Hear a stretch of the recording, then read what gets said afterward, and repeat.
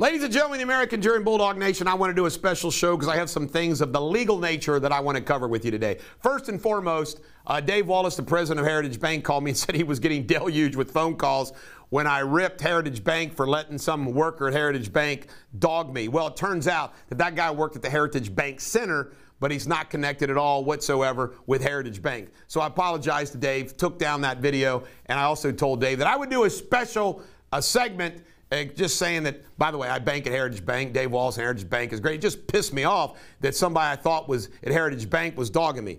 Uh, Campbell County Republican Party, happy to report that just like in Boone County, the good guys, the freedom lovers, took over the Campbell County Republican Party. And they would have taken over the Kenton County Republican Party, but for the shenanigans. But that's for another day. Uh, Goldman Sachs, there was a decision by the Supreme Court yesterday, United States Supreme Court shareholder lawsuit against Goldman Sachs, the biggest investment house in the world, uh, where this is what the accusation was. Well, they, they actually said the standard for fraud uh, has to be increased. Get this. An issue was an investor lawsuit filed in 2011 that alleged Goldman artificially inflated its share price before and during the 2007 2009 financial crisis. This is a problem with the court system in this country.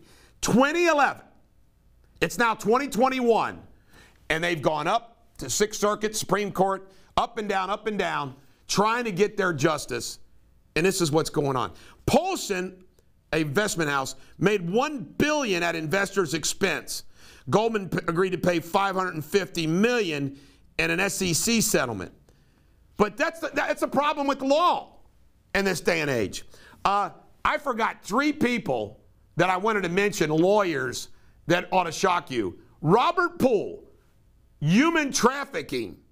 Somebody told me he was still in court two weeks ago. The guy's been indicted in Boone County and Campbell County, waiting trial, and apparently he's still practicing law in Kentucky. Uh, Clyde Bennett. I actually like Clyde Bennett, but the guy's been nailed twice. The last one, the first one was kind of BS. The second one was really serious, completely lying. He's been suspended two times for serious offenses. And I support Clyde. I like Clyde. I consider Clyde a friend.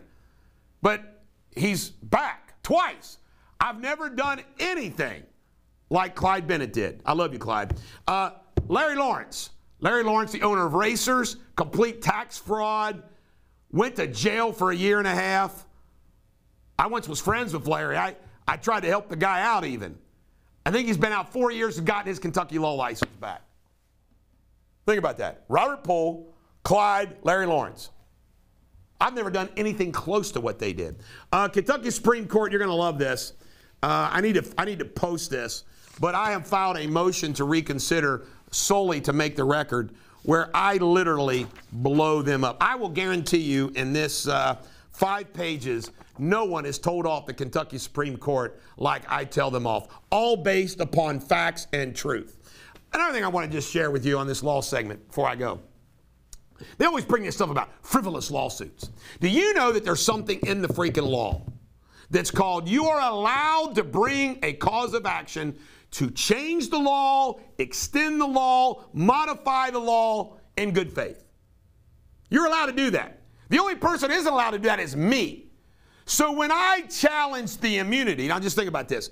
Should a lawyer be able to defame and perjure himself, another lawyer, and it has immunity because it's in the discipline process, that's total bullshit, right? Any normal American would say that's bullshit, but not the bar. So when I file lawsuits to try to change things and correct problems, oh, well, that's frivolous. No, it's not frivolous. I've never filed a frivolous lawsuit in my freaking life. It cracks me up the way the bar handles these things. Well, that's it for my special law segment. This is the Bulldog. Every dog has their day. If you have a legal problem, contact Deters Law.